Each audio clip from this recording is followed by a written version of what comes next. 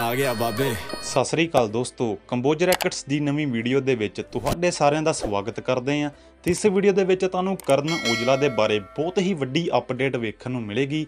ਇਸ ਕਰਕੇ ਇਸ ਵੀਡੀਓ ਨੂੰ ਐਂਡ ਤੱਕ ਜ਼ਰੂਰ ਦੇਖਿਓ। ਤੇ ਵੀਡੀਓ ਸ਼ੁਰੂ ਕਰਨ ਤੋਂ ਪਹਿਲਾਂ ਕਮੈਂਟਾਂ ਦੇ ਵਿੱਚ ਬੈਗ ਦਾ ਫੱਕਾ ਜ਼ਰੂਰ ਲਿਖਿਓ।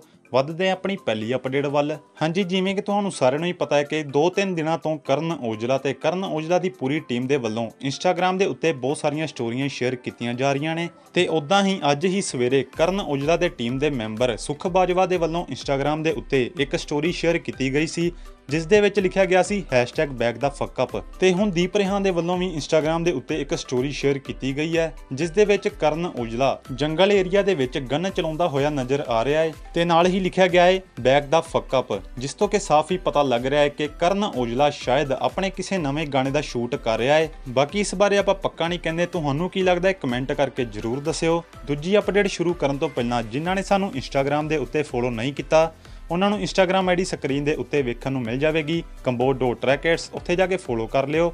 ਵੱਧਦੇ ਹਾਂ ਆਪਣੀ ਦੂਜੀ ਤੇ ਲਾਸਟ ਅਪਡੇਟ ਵੱਲ। ਹਾਂਜੀ, ਕਈ ਲੋਕ ਸਾਨੂੰ ਹਜੇ ਵੀ ਪੁੱਛ ਰਹੇ ਨੇ ਕਿ ਕਰਨ ਔਜਲਾ ਦੀ ਐਲਬਮ ਕਦੋਂ ਤੱਕ ਰਿਲੀਜ਼ ਹੋ ਜਾਵੇਗੀ? ਤਾਂ ਤੁਹਾਨੂੰ ਸਾਰਿਆਂ ਨੂੰ ਦੱਸ ਦਈਏ ਕਿ ਕਰਨ ਔਜਲਾ ਦੇ ਵੱਲੋਂ ਕੱਲੂਕਾਰੇ ਦੇ ਕਰਕੇ ਆਪਣੀ ਐਲਬਮ ਨੂੰ ਪੋਸਟਪੋਨ ਕੀਤਾ ਗਿਆ ਹੈ ਤੇ ਹੁਣ ਇਸ ਐਲਬਮ ਦੀ official release date Karan Aujla ਦੀ ਟੀਮ ਦੇ ਵੱਲੋਂ 8 ਤਰੀਕ ਤੋਂ ਬਾਅਦ ਹੀ ਦੱਸੀ ਜਾਵੇਗੀ, ਜਿਸ ਦੀ ਪੂਰੀ ਅਪਡੇਟ ਦੀਪ ਰੇਹਾਂ ਦੇ ਵੱਲੋਂ ਇੰਸਟਾਗ੍ਰam ਦੇ ਉੱਤੇ ਸਟੋਰੀ ਪਾ ਕੇ ਦਿੱਤੀ ਗਈ ਸੀ। ਹਾਂਜੀ, ਇਸ ਵੀਡੀਓ ਦੇ ਵਿੱਚ ਬਸ ਇੰਨਾ ਹੀ। ਕਰਨ ਔਜਲਾ ਦੀ ਐਲਬਮ ਦੇ ਬਾਰੇ ਹੋਰ ਅਪਡੇਟਸ ਜਾਣਨ ਵਾਸਤੇ ਇਸ ਚੈਨਲ ਨੂੰ ਸਬਸਕ੍ਰਾਈਬ ਕਰ ਲਿਓ ਤੇ ਨਾਲ ਲੱਗੀ ਬੈਲ ਆਈਕਨ ਨੂੰ ਜਰੂਰ ਪ੍ਰੈਸ ਕਰ ਦਿਓ। ਜਿਨ੍ਹਾਂ ਨੂੰ ਇਹ ਵੀਡੀਓ ਵਧੀਆ ਲੱਗੀ ਹੋਵੇ, ਲਾਈਕ ਕਰ ਦਿਓ, ਸ਼ੇਅਰ ਕਰ ਦਿਓ, ਜਿੰਨਾ ਹੋ ਸਕੇ। ਚੰਗਾ, ਚੱਲਦੇ ਹਾਂ, ਥੈਂਕ ਯੂ।